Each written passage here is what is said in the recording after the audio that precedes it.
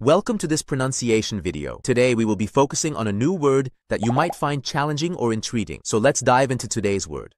Niccolò, which means, Italian male given name, equivalent to Nicholas in English.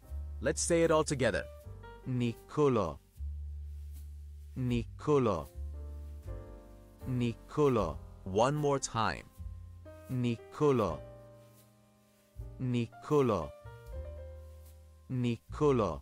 Thank you for joining us on this adventure in pronunciation. Remember, language is a journey, not a destination. Keep exploring, experimenting, and expanding your linguistic horizons. We'll see you next time.